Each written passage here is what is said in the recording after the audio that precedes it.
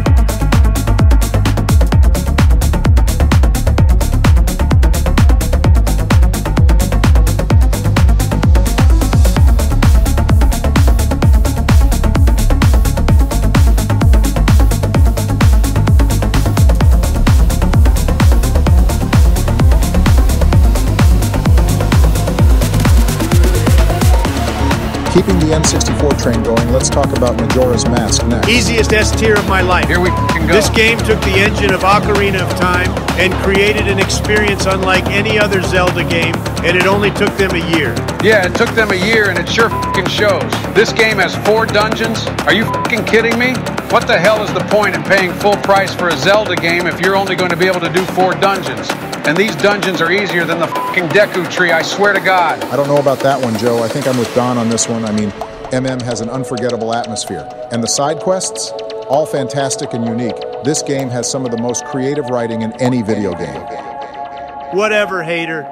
You're just mad that all your bosses are boring as MM has the most unique bosses in Zelda. Bro, you can't seriously be trying to tell me that Gyorg is a good boss. He's absolute dog.